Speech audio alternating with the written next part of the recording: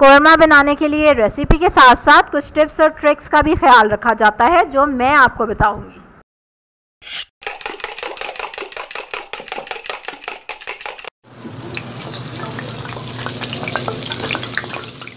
वालेकुम love to cook you can do it चलें जी, कैसे आप सब लोग? अपनी रेसिपी स्टार्ट करते हैं हम। डेढ़ किलो चिकन चाहिए, दो बड़े प्याज स्लाइस किए हुए, अदरक, लहसुन का paste one and half tablespoon दो बड़े टमाटर कटे हुए सिक्स टेबल स्पून घी चाहिए आपको इसके लिए, और साबुत गरम मसाला और पिसा हुआ गरम मसाला, ठीक है? सबसे पहले हम घी गरम करेंगे, कढ़ाई में पैन में, हंडिया में, और तेज़ आँच पे हम चिकन को फ्राई करेंगे, ठीक है? ये बहुत ही इंपॉर्टेंट स्टेप है। ये ज़रूर करना है आपने। इससे क्या होगा कि चिकन के जूसेस सील हो जाएँगे राइट क्योंकि जो कौरमा है वो थोड़ी सी ग्रेवी वाली डिश होती है शोरबे वाली। तो उसके लिए ज़रूरी है कि जायका शोरबे के अलावा ना गोश्त में भी रहे थोड़ा बहुत ठीक है? तो जब हम इस तरह से तेज़ आँच पे फ्राई करते हैं चिकन को या किसी भी मीट को तो वो जूसेस उसके अंदर आ, सील हो जाते हैं। गरम घी में आप फ़ौरन से जब चिकन का पीस डालें तो वो एकदम से आ, क्या उसको कहते हैं? अपने आप को सील कर लेता है। राइट तो इससे आपका चिकन जूसी रहेगा। कौरमा बनने के बाद खाने में मज़ा आएगा। बैजेस में हमने इसको फ्राई किया है क्योंकि डेढ़ किलो चिकन था। ये देखा आपने फ़र्स्ट बैच का चिकन ठीक है? और अब हमने सेकेंड बैच भी फ्राई कर लिया ना इन द सेम ऑयल उसी ऑयल में ही हम अब प्याज शामिल करने वाले हैं। दो बड़े प्याज हैं स्लाइस हुए हुए। इनको हमें ब्राउन करना है। वैसे तो जो तरीका होता है उसमें ब्राउन करें प्याज निकाल लें फिर अदरक लहसुन डालें। एनीवेज मैंने उसका एक शॉर्टकट इन्वेंट किया है खुद से कि प्याज ब्राउन होने लगता है ना जब शुरू होने लगता है ठीक है? अभी मैं आपको इसकी स्टेज दिखाती हूँ ये देखें। Right right? ये देखें थोड़ा सा वो आ, जाने लगा है ब्राउन होने की तरफ़। Now I will add the ginger garlic paste डेढ़ चम्मच जिंजर गार्लिक पेस्ट अब इसमें डाल दिया है। और अब इसकी रिमेनिंग फ्राइंग इकट्ठे होगी, ठीक है? अब ये इकट्ठे ही दोनों चीज़ें ब्राउन होंगी। अब इन चीज़ों को इकट्ठे ब्राउन होने देंगे हम और उसके बाद we will take it out ये देखें। सी ठीक है? दोनों बहुत अच्छे से ब्राउन हो गए और अब आपने एक चीज़ करनी है कि टर्न ऑफ़ द स्टोव चूल्हे को बंद कर देना और फिर प्याज को निकालना है और अदरक लहसुन को।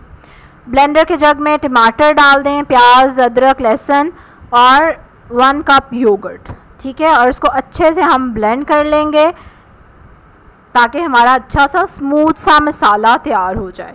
अगर मसाला स्मूथ चाहिए तो ब्लेंडेड उसी घी में मैंने दो चम्मच और घी शामिल कर दिया है और उसमें साबुत गरम मसाला डाल दिया, ठीक है? So this is also very important कि आपने स्टार्ट में गरम मसाला घी में डालना है ताकि अच्छे से उसका फ्लेवर भी आ जाए। जब गरम मसाला ब्राउन होता है तो वो उसका एरोमा बढ़ जाता है, ठीक है? उसका फ्लेवर इन्हांस हो जाता है। तो इसलिए पहले आपने गरम मसाला डालना है, साबुत वाला।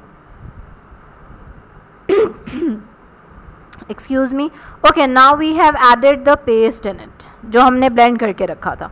और अब नमक, मिर्च और हल्दी यस ठीक है? ये बिल्कुल आपके टेस्ट के मुताबिक डलते हैं, जितना आप खाते हैं, उतना मसाला इसमें आप ऐड कर सकते हैं राइट मिर्चों की क्वांटिटी नमक नमक हमेशा एडजस्टेबल होता है। और हल्दी, उसको अच्छे से आपने भूनना है, ठीक है? थोड़ी सी तेज़ आँच पे और ये देखें, यहाँ तक भुनाई करनी है कि घी वो छोड़ दे, ऊपर आपको घी नज़र आ रहा है ना? और अब आप देख रहे हैं क्या मैंने ऐड किया है। This is ketchup right it will enhance the taste of the dish तो आपने one tablespoon around ketchup add करना है। इस वीडियो के एंड पे आपको लिखे हुए उर्दू में इंग्रेडिएंट्स मिल जाएँगे राइट और मैं आपको ये भी बताऊँगी कि रेसिपी आपको उर्दू इंग्लिश में लिखी हुई कहाँ से मिलेगी। और राइट इसको अच्छे से हम फ्राई कर लेंगे and now we are going to add the chicken और फ्राइड चिकन अब हम इसमें ऐड कर चुके हैं। थोड़ी सी आँच तेज़ रखेंगे और इसको दो तीन बार आप इसमें चम्मच चलाएँगे और इसको भी मसाले के साथ ज़रा थोड़ा सा भून लेंगे।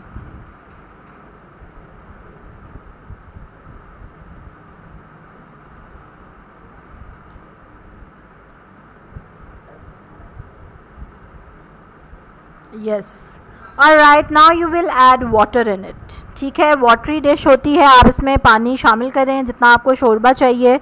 और अगर कम शोरबा रखना है तो थोड़ा कम पानी डाल लें। Anyways I am going to add almost two glasses in it और उसके बाद आप इसको कवर कर देंगे। अच्छे से दो तीन उबाल जब आ जाएँगे तो फिर आप आँच हल्की कर देंगे ताकि चिकन अच्छी तरह से गल जाए। और जब चिकन गल जाएगा तो इसका मतलब है कि आपकी डिश रेडी है कोरमा इज़ रेडी इसको आप नान के साथ खाएँ, चावल के साथ खाएँ, दोनों तरह मज़े का लगता है। मैं ज़्यादा इसको नान के साथ इंजॉय करती हूँ। आप भी कमेंट करके बताएँ कि आप किसके साथ इसको ज़्यादा इंजॉय करते हैं। आर डिश इज़ रेडी अब हम इस पर जिंजर स्लाइसेस डाल रहे हैं। वन टीस्पून गरम मसाला ऐड कर रहे हैं हम इसमें। मिनिमल मसाला ये टिप भी याद रखें कि कम से कम मसाला यूज़ करना है okay we will add coriander leaves and few um, one green chili sliced.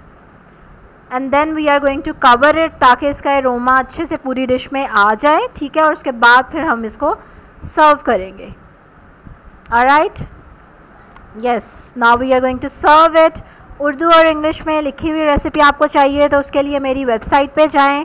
उसका लिंक नीचे डिस्क्रिप्शन में दिया हुआ है, उस पर क्लिक करें and you will get the recipe इसी तरह टिप्स के साथ रेसिपीज़ देखने के लिए सब्सक्राइब करें मेरे चैनल को लाइक करें मेरी वीडियो को और शेयर करें।